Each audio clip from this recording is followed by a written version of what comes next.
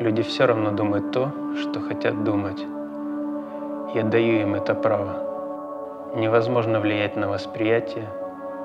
Это игра на поражение, поэтому я не играю. Я позволяю им проигрывать. Теряться в собственных догадках насчет того, кто я. Бунтарь, ангел, романтик, сердцеед, ребенок, мужчина. Возможно, я совмещаю в себе эти грани. Возможно, не одну из них. Что и есть, мне саму предстоит выяснить. Это не может быть мне навязано. Это то, что я должен узнать сам.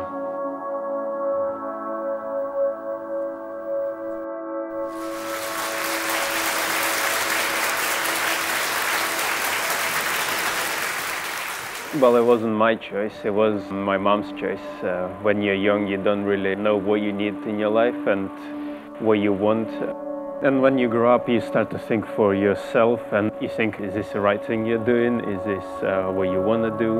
Is this what you're meant to do? And you start to fight with yourself, with your own instincts, what you want to achieve in your life. My uh, main issue was when I was a kid. I was free, you know, like before my gymnastics, before my I started ballet. I was on the streets, you know, playing with kids, being free, doing whatever I want, you know, like no control, no responsibilities. And that was the happiest time. And from uh, four and a half, I was put into gymnastics. And then from there, I went to ballet, straight away to ballet school, and that was quite strict till 21. This big period of time, like where you wanna be, uh, like be a, a, guy, you know, do normal things that guys do, you know, getting drunk, uh, sometimes fight, sometimes smoke. You know, people have a freedom in a way. I didn't feel that, and I felt a lot of pressure with my talent as well. I couldn't mess it up. I couldn't. I couldn't be kicked out. I got kicked out from a country. So I quit a theater and my visa was attached to the theater. I don't know what people were saying behind my back. Friends of mine helped me to get a visa so I can come back at least to get my stuff. In England, there was nobody to look after you or to be basically by yourself, and theater has their own interests as long as you perform well. When you live for nine years in a country and you know if you quit the theater, you are, you are out of the country. It's like you're out of your home and you have to find a new home. And that's what I was scared of.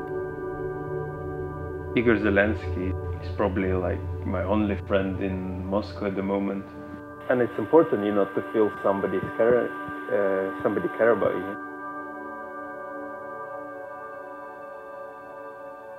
I hate the idea of people saying that you're a rebel. Journalists they hear one little thing and they're trying to create something out of it, trying to make a big headline out of nowhere, really. It was actually quite funny for me. You know, it was just, I was playing with them in a way. It was nothing serious.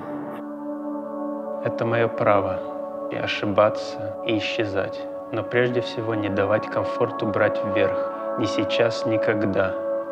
Поскольку предсказуемость скучна, а против скуки нужно восставать. I don't have a struggle anymore. I just um, do whatever I want. So I don't have any rules.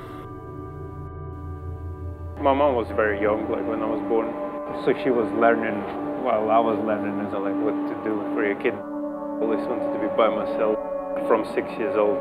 It's who you are. It's not like I developed into the um, person who lives by himself.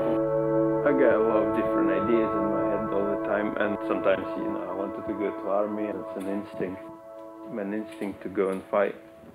I see man as a strong figure, you know, like who is uh, brings food to the table, you know, like who works. My dad always went to work outside the country. He was a builder. For example, you see him after a year for one day and then he leaves again. I would rather like not to see the person than have that unpleasant feeling. You like lose a person when he leaves somewhere else to live, and I think that's the saddest feelings I had when I was, you know, a kid. And you just try to avoid that. You try to avoid getting too close somebody who you think might might go away or whatever.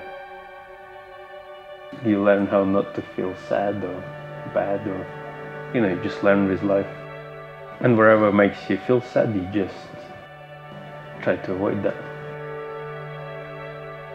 When you grow older, you always tend to replace something where you miss when you're younger. That was my dad for this uh, when I was a kid. So now I want to feel like some somebody's behind me, somebody's strong, and I found that neighbor. He's like like my dad. А инстинкт остается молчаливым и решительным. Вот почему инстинкт мой брат, поэтому я доверяю ему. Мы одно, инстинкт и я. Инстинкт — это сильный, молчаливый тип. As a um, human being, you know, like to have a reason just to be happy and freedom of making your own decisions, uh, your own choices.